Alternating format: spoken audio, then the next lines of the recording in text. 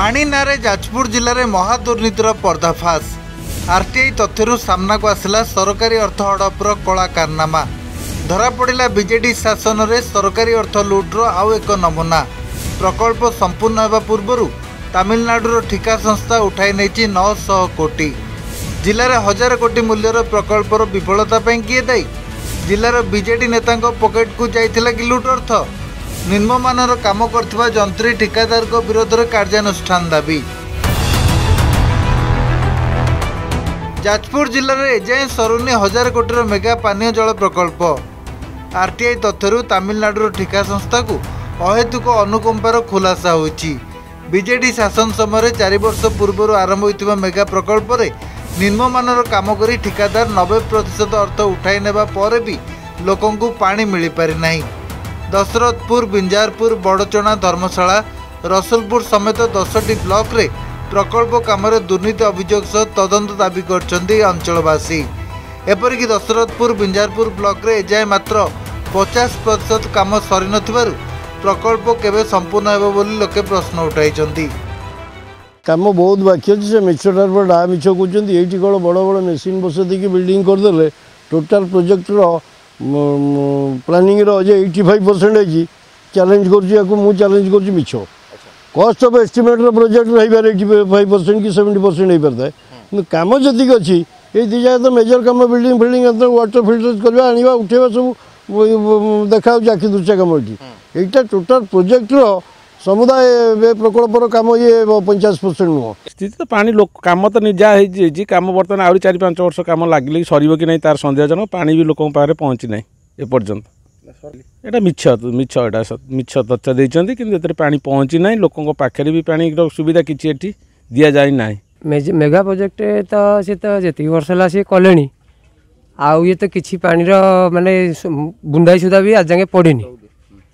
ଆଉ ଏକରେ ବି ଆମରି ଏ ଦାମୋଦରପୁର ପାଣି ଉଠିକିରି ଯିବ କହୁଛନ୍ତି କିନ୍ତୁ ସେ କିଛି ହେଇପାରୁନି। ତ ଏଇଟା ତ ହେଉଛି ଆମର କ'ଣ ସେଣ୍ଟ୍ରାଲ ଗଭର୍ଣ୍ଣମେଣ୍ଟର କାମ। ରାଜ୍ୟ ଗଭର୍ଣ୍ଣମେଣ୍ଟ ନେଇଥିଲା। ସିଏ ବି କିଛି ହେଇପାରି ନାହିଁ କାମ। କାମ ଯେଉଁ କହୁଛି ଯେଉଁ ହେଇଯାଇଛି ଅଶୀ ପରସେଣ୍ଟ ସେ ଜମା ହେଇନି ତିରିଶ ପରସେଣ୍ଟ ବି କାମ ହେଇନାହିଁ। ପ୍ରକଳ୍ପ ନିର୍ମାଣରେ ବିଳମ୍ବ ହେଉଥିବାରୁ ଯାଜପୁରବାସୀଙ୍କ ପାଇଁ ବଢ଼ୁଛି ପାନୀୟ ଜଳ ସଙ୍କଟ ଇଣ୍ଟେକ୍ ୱାଲ୍ ନିର୍ମାଣରେ ବିଳମ୍ବ ଯୋଗୁଁ ଏଯାଏଁ ଲୋକଙ୍କୁ ବିଶୁଦ୍ଧ ପାନୀୟ ଜଳ ମିଳିପାରିନାହିଁ ପ୍ରତି ପଞ୍ଚାୟତରେ ଓଭରହେଡ୍ ପାଣି ଟ୍ୟାଙ୍କ ସହ ଗାଁ ଗାଁରେ ବିଛାଯାଇଛି ପାଇପ୍ ଲାଇନ୍ ଘରେ ଘରେ ଲାଗିସାରିଛି ଟ୍ୟାପ୍। କିନ୍ତୁ ବର୍ଷ ବର୍ଷର ଅପେକ୍ଷା ପରେ ବି ଲୋକଙ୍କୁ ମିଳୁନି ବିଶୁଦ୍ଧ ପାଣି। ବଡ଼ଚଣା ଧର୍ମଶାଳା ଦାନଗଦିରେ ଅନେକ ସ୍ଥାନରେ ଇଣ୍ଟେକ୍ ୱାଲ୍ ପ୍ରୋଜେକ୍ଟ ଅଧପନ୍ଥୀରେ ପଡ଼ି ରହିଛି।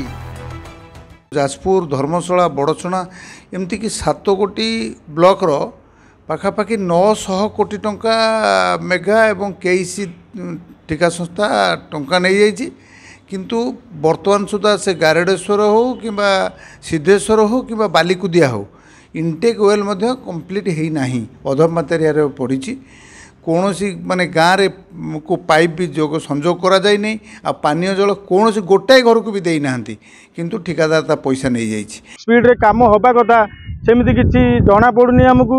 ডেলি সকালু গাড়ি আসুচি তাঙ্ক স্টাফ মানকর এ যে রাস্তা আমার সব খারাপ করছি আমার গাঁ রাস্তা সব খারাপ করছি ডেলি গাড়ি পচাশ শহে পশুছি কিন্তু এ গাড়ি খালি আসছেন যাচ্ছেন স্টাফ মানে আ ভিতরে কাম হোনি কিছু কিছু প্রোসেস আমি কিছু লাগুনি এ সরু সরু বোধে আর পাঁচ বর্ষ যাব কি দশ বর্ষ যাব কি প্রোজেক্ট হব কি অধারু রহিযিব সে বি আমি সন্দেহরে অছু এবং কাম আপনার কিছু এপর্যন্ত হয়নি তিরিশ পরসেন্টর বি কাম হয়নি লোক কে তিন বর্ষ ভিতরে সরব বলি তিন বর্ষ প্লস হয়ে গলানি কাম তিরিশ পরসেন্টর কাম হয়নি ଧରାପଡ଼ିଛି ବିଜେଡି ଶାସନରେ ସରକାରୀ ଅର୍ଥ ଲୁଟ୍ର ଆଉ ଏକ ନମୁନା। ନଳରେ ଘରକୁ ଜଳ ଯୋଗାଣ ନାଁରେ ଯାଜପୁର ଜିଲ୍ଲାବାସୀଙ୍କୁ ଧୋକା ଦେଇଛନ୍ତି ପୂର୍ବ ବିଜେଡି ସରକାର। ମେଗା ପ୍ରକଳ୍ପ ନିର୍ମାଣ କରୁଥିବା ତାମିଲନାଡୁର ଠିକା ସଂସ୍ଥାକୁ ଅହେତୁକ ଅନୁକମ୍ପା ଦେଖାଇ ଜିଲ୍ଲା ବିଜେଡି ନେତା ମୋଟା ଅଙ୍କର ଚାନ୍ଦା ହାତେଇଥିବା ଅଭିଯୋଗ ହୋଇଛି। ଶିଳ୍ପ ସମୃଦ୍ଧ ଯାଜପୁର ଜିଲ୍ଲାରେ ହେଉଛି ଜଳ ଯୋଗାଣର ବିକଳ ଚିତ୍ର। ପାଣି ପାଇଁ ଏବେ ବି ପ୍ରତିଦିନ ଦହଗଞ୍ଜ ହେଉଛନ୍ତି ସ୍ଥାନୀୟ ବାସିନ୍ଦା। ଜିଲ୍ଲାରେ ପାନୀୟ ଜଳ ପ୍ରକଳ୍ପ ନାଁରେ ହଜାରେ କୋଟିର ଦୁର୍ନୀତି ପଛରେ କେଉଁମାନଙ୍କର ରହିଛି ଭୂମିକା ତଦନ୍ତ କରି ମୋହନ ସରକାର କାର୍ଯ୍ୟାନୁଷ୍ଠାନ ନେବାକୁ ଦାବି ଜୋର ଧରିଛି ଧର୍ମଶାଳାରୁ ପରମେଶ୍ୱର ବେଉରିଆ ଆନନ୍ଦ ମହାରଣା ବଡ଼ଚଣାରୁ ପବିତ୍ର ସାମଲ ଏବଂ କୋରେଇରୁ ସନ୍ତୋଷ ସାହୁଙ୍କ ରିପୋର୍ଟ ଅର୍ଗସ୍ ନ୍ୟୁଜ୍